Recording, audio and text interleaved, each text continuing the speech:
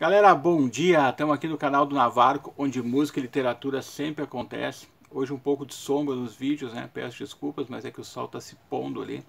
E a minha iluminação direta vem da rua, vem da rua e a lua realmente está... A rua está se pondo ali.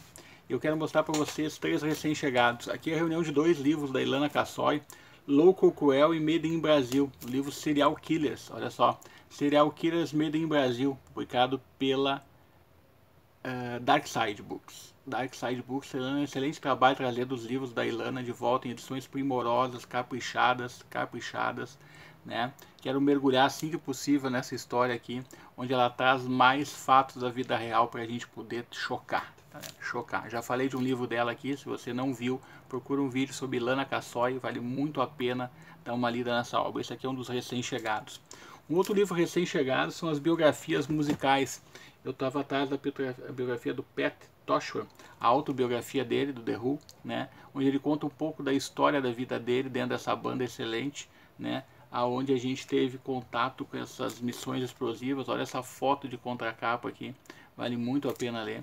Eu tenho acompanhado isso. Qual é a dica que eu dou para vocês? Se vocês querem comprar livros bons, cara, façam a sua lista lá na Amazon e vai colocando na lista e vai acompanhando a movimentação de preço até chegar ao preço que você pode trazer esse excelente livro para o seu acervo. É assim que eu faço, galera.